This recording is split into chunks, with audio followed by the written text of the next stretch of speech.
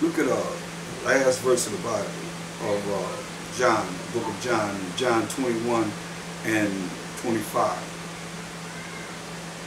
See, and there are also many other things which Mashiach did, the which, if they should be written, every one of the things that he done,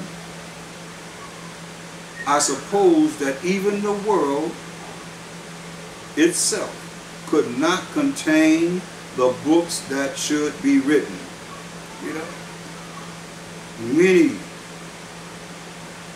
things that a Mashiach done He said, I suppose that even the world itself could not contain the books that should be written. That's how many miracles he done. And Israel still didn't believe then and don't believe now, as they should.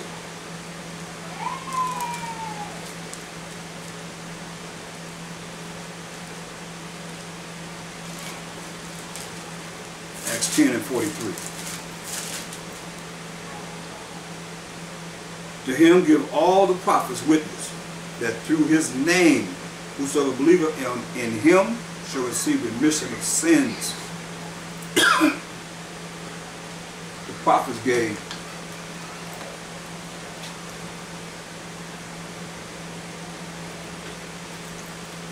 witness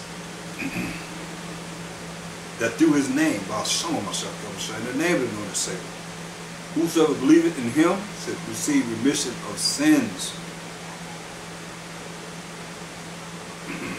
and you know, well some of you might know, some of you might not know. The prophets rolling with what spirit? Whose spirit? First Peter 1 and 10. Uh, of which salvation powers from the authority the prophets that we just read about have inquired and searched diligently who prophesied of the grace, getting something that you don't deserve, that should come unto you. Searching what? or what matter of time the spirit of Mashiach. See this? It's the prophets. Searching what or what manner of time the spirit of Mashiach, which was in them, did signify when it testified beforehand the sufferings of a Mashiach and the glory that should follow. And that's the glory that followed. When we look at um, Acts 1 and 9,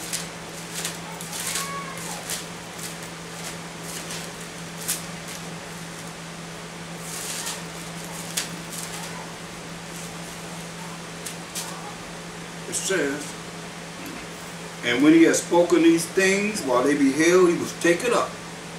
After he had died, rose on the third day, walked there for 40 days. And when he had spoken these things, so they will be endowed with the Holy Spirit.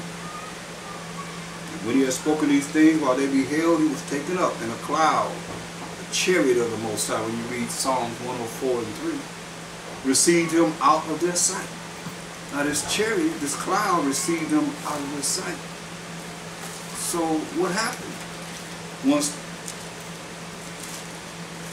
the cloud received Mashiach Yahawashi up in the air out of their sight. Daniel 7.13, he had a vision of what would happen once he went And this is I saw in the night vision. This is Daniel 7.13 we asked him what happened once he went up in the cloud. I saw in the night visions.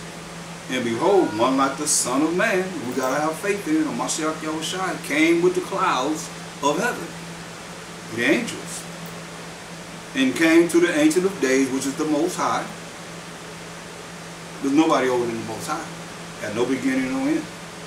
And they brought him near before him. And there was given him dominion and glory and a kingdom that all people, nations, and languages should serve him. His dominion is an, is an everlasting dominion which shall not pass away. and his kingdom that which shall not be destroyed. It's over. This kingdom that we're in now, all these kingdoms will be brought down. Period. Look, verse 18. But the saints who are the children of Israel, 12 tribes of Israel, of the Most High, shall take the kingdom and possess the kingdom, how long? Forever, even forever and ever. Right? Remember, forever and ever and ever and ever. Forever, forever, forever. Verse 27. And the kingdom and dominion and the greatness of the kingdom under the whole heaven shall be given to the people of the saints of the Most High. This salvation, powers and authority coming to the Israelites. And the kingdom and dominion and the greatness of the kingdom under the whole heaven shall be given to the people of the saints of the Most High, whose kingdom is an everlasting kingdom. And all dominions shall serve and obey him. Everybody going to serve and obey Mashiach Yahushua. Hitherto is the end of the matter. That's all we got to say in the spirit of the Most High.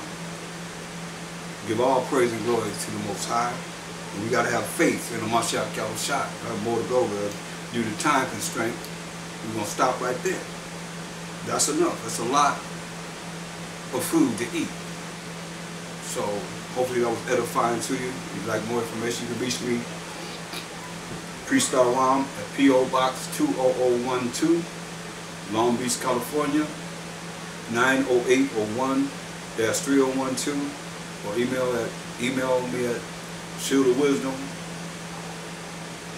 at yahoo.com. And I hope that was really edifying for you to show you that we got to keep the laws of the Most High, which is righteousness.